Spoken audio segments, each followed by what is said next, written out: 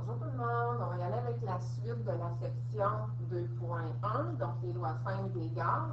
On est rendu donc avec volume et quantité de gaz, donc volume V et quantité de gaz, donc N. Fait qu'on prend toujours donc deux facteurs 2 à 2 en gardant les deux autres constants. Et étant donné qu'on a quatre facteurs, donc température, et pression, dans ce cas-ci, donc toujours, toujours, toujours donc égal, ça c'est sûr. Donc il n'y aurait donc aucune variation de température et de pression. Fait que ici, ben, il n'y a pas vraiment non plus scientifique là, qui a travaillé là-dessus. C'est comme évident que si, admettons, donc j'ai un ballon, ben, plus un ballon de fête, admettons, plus que je mets de gaz à l'intérieur, ben, plus le volume finalement donc va augmenter. Qu'est-ce qu'on a fait expérimentalement? C'est qu'on a pris donc une expérience qui donnait donc un dégagement gazeux. On a fait réagir donc du magnésium au niveau des réactifs avec un acide, qui fait en sorte que ça nous a donné donc une substance aqueuse plus un dégagement donc de gaz comme produit. Fait qu'on a regardé, lorsqu'on augmente le volume donc de HCl, est-ce que le volume de gaz donc récolté, le nombre de particules finalement de gaz, va augmenter? C'est sûr que oui. Donc là, vu qu'on ne veut pas étudier volume-volume, vu qu'on veut étudier donc volume nombre de moles, on va garder donc le volume de H2 donc récolté. Puis on va aller simplement donc transférer donc le nombre de moles de gaz, donc le volume, en nombre de moles plutôt. Donc c'est comme l'inverse. À savoir que lorsque on travaille à une température et pression ambiante, à TAPN, bien, tous les gaz, lorsqu'on en recueille 1 millilitre, ça donne 4,1 fois 10 exposant 5 moles. Et qu'est-ce qu'on a fait? C'est qu'on a tout simplement fait ces résultats-là ici, fois 4,1 fois 10 exposant moins 5 moles. Et ça nous a donné cette colonne-là. Bien sûr, on ne fait pas ça. Si on met ça donc dans un graphique, volume en fonction du nombre de moles, ça nous donne une belle ligne droite ascendante qui passe par 0, 0. Une fonction linéaire sous la forme y est égal à ax, ce qui prouve que nombre de moles et volume, c'est directement proportionnel. Ça veut dire que si j'augmente le nombre de moles, le volume augmentera, et vice-versa, si je diminue donc le nombre de moles, le nombre de particules, le volume va diminuer donc aussi. Si on continue, donc avec cette formule-là, on va aller donc changer. Si on interprète donc ces résultats-là, on peut observer, comme je disais, que l'augmentation donc du volume va donner finalement un nombre de moles qui va être plus grand. En, passant, je ne le dis pas souvent, mais ça, ça marche, peu importe la sorte de gaz, la nature du gaz ne va pas influencer. Donc, c'est une relation qui est directement proportionnelle. Si je vous fais la démonstration mathématique, on peut bien écrire des mots maths, comme ça. Vu que c'est directement proportionnel, c'est sous la forme y est égal à ax, je peux remplacer le y par le v le x par le n et le a par le k.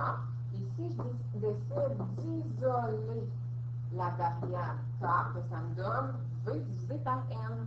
Donc, on se rend compte que si je fais v1 divisé par n1 ou v2 divisé par n2, ça va toujours, toujours, toujours donner la même constante, étant donné que c'est directement proportionnel, d'où ma nouvelle formule. C'est sûr hein, que le volume, c'est moi qui décide, donc les unités que je vais prendre, toutes les deux en litres, toutes les deux en millilitres, peu importe. Mais le nombre de moles, hein, ça c'est bien sûr que c'est toujours en moles, donc la quantité, donc pour un gaz, on travaille en moles. On va aller se pratiquer avec cet exemple-là ici. À une pression P et une température P de 25 degrés Celsius, que je travaille à TAPM, quel sera le volume de 10 moles. Fait que moi, ben, c'est sûr que je cherche le volume 2. Lorsque j'ai donc un nombre de moles 2, donc de 10 moles, en longtemps hein, que le volume puis le nombre de moles donc, correspondent ensemble. Si au départ, on avait 30 moles et un volume V1 de 12 litres. Dans le fond, on s'en fout pas mal de la température et de la pression parce que toutes les deux, elles restent égales. Qu'est-ce qui varie, c'est volume et nombre de moles. Donc, je peux employer donc ma formule. Moi, qu'est-ce que je cherche dans, le, dans ce cas-ci? Ben, c'est le V2 que je vais aller isoler. Fait si j'isole donc le V2, je vais faire V1 fois M2. Je divise par l'autre ici, donc il reste, on va dire qu'on divise par le rejet, donc par M1. Ça me donne la formule isolée et je remplace donc mes chiffres donc dedans. On avait décidé que le V1, c'était 12 litres, le N2, 10 mol. Ensuite de ça, on divise par notre N1 qui est 30 mol. Je fais des litres fois des moles divisé par des moles, donc les moles s'annulent, ça va me donner 4. Et il va me rester donc des litres. Je peux regarder si c'est logique ma réponse. Donc, mon volume est de 4 litres. De là à là, je pense que vous avez vu, mon nombre de moles, il diminue. C'est sûr que si c'est directement proportionnel, mon volume devra diminuer aussi. Et c'est ce qui arrive. Donc, habituellement, signe probablement que ma réponse est bonne. Lui qui a initié cette formule-là, c'est pas mal, donc Amadeo Avogadro, le même là, qui nous a donné donc l'hypothèse Avogadro, le nombre d'Avogadro, le 6,023 fois 10 exposant 23. Fait que lui, il dit que le volume de gaz est directement proportionnel au nombre de moles, d'où qu'on peut donc utiliser la formule V1 sur N1 est égal à V2 sur N2. De façon, donc, avec l'aide, de façon explicative, donc avec l'aide de la théorie cinétique, comment on peut expliquer ça?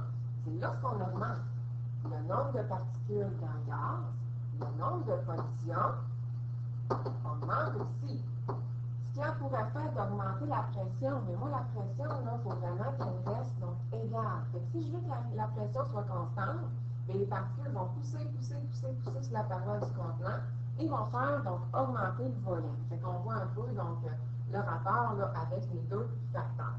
On continue ici avec la loi de Lewis-Stack et l'hypothèse Avogadro. Je vais en premier avec l'hypothèse d'Avogadro parce qu'on va s'en servir, c'est super, super, super important. Il faut comme la connaître par cœur là, pour l'examen.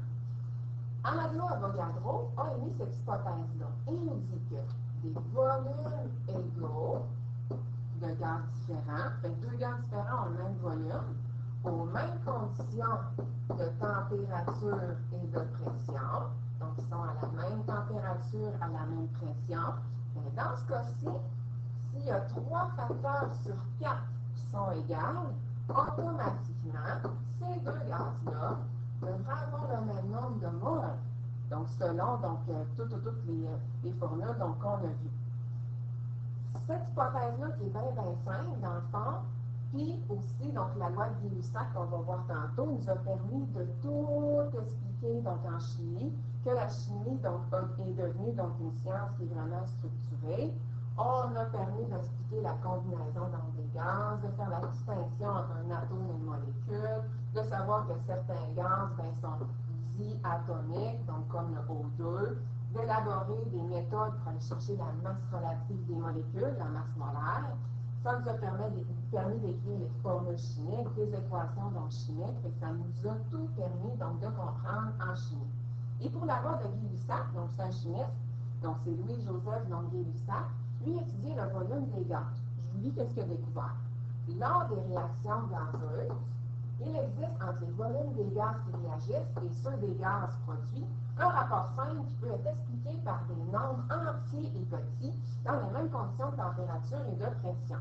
Et que regardez, lui a découvert que ce n'est pas nécessairement parce que tu fais réagir deux volumes, deux molécules de H2 avec un volume ou une molécule de O2 que ça va donner 2 plus 1 qui va donner 3. Mais non, c'est parce que tout est réarrangé, un fait un secret, tout se, tout se conserve, ce qui fait en sorte que ça ne donnera pas nécessairement tout le temps 1 plus 1, mettons 2, ou 2 plus 1 qui va donner donc 3. Donc c'est lui qui a découvert ça.